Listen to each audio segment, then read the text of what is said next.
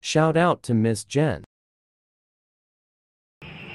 Oops. Mag follow canna para chata.